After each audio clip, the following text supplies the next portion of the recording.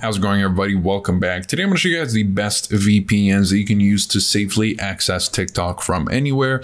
And of course, in order for you to prevent TikTok from collecting your personal information, since TikTok does have a, uh, well, very concerning privacy policy that collects a whole lot of information. So the only way to safely access TikTok, whether you're in a censorship heavy country where TikTok is not available or in a country where TikTok is available, but you just want to protect your uh, privacy and keep yourself anonymous uh, from TikTok or your ISP or your public Wi Fi hotspot, a VPN is always a good measure to keep yourself as safe uh, and encrypted so that you don't compromise any of your data. So, of course, I've tested over a couple of dozen VPNs and I've narrowed it down to these three as the best overall. They all vary in budgets and features, so pick and choose depending on your own situation and what you're looking for out of your VPN and your own budget.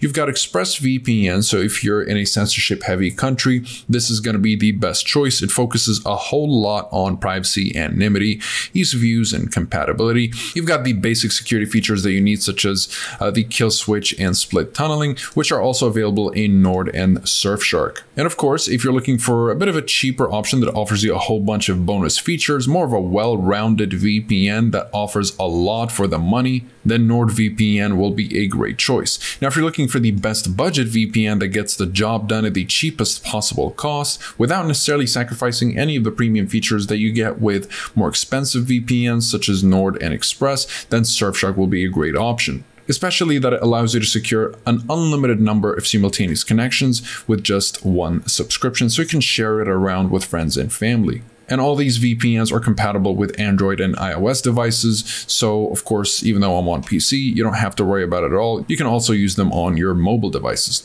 So that is pretty much it for this video. If you guys want to learn a little bit more about these VPNs with regards to the privacy policy, speed streaming and torrenting capabilities, as well as security and features, you'll find the full reviews down below. And you'll also find links to pricing discounts if you want to jump straight to those. They're all covered by a 30 day money back guarantee. So you can test drive these VPNs for 30 days risk free. Otherwise, you can simply get yourself the refund if you're not satisfied for whatever reason. Besides that, comment below if you have any questions. I'll be happy to answer all of them. Like and subscribe if you'd like to support the channel and stay up to date with everything VPNs and cybersecurity. Thank you guys very much for I'll see you in the next one. Have a wonderful day.